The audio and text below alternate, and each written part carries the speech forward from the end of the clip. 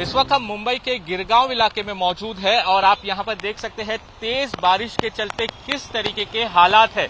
जहाँ तक आपकी नज़र जाएगी, वहाँ पर आपको पानी नज़र आएगा और पहली बार ऐसा हम ये नज़ारा देख रहे हैं कि साउथ मुंबई में इतनी ज़्यादा पानी के वजह से वाटर लॉगिंग की परिस्थिति हो।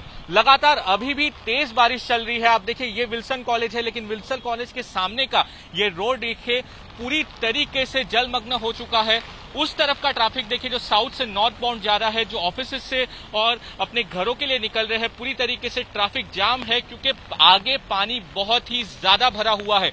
जो गिरगांव चौपाटी है तो गिरगांव चौपाटी का जो एरिया है, जो प्रिमाइसिस है, जहाँ पे लोग जाते हैं घूमने फिरने के लिए, वो भी पूरी तरीके से वहाँ पर वाटर लॉगिंग हो चुकी है।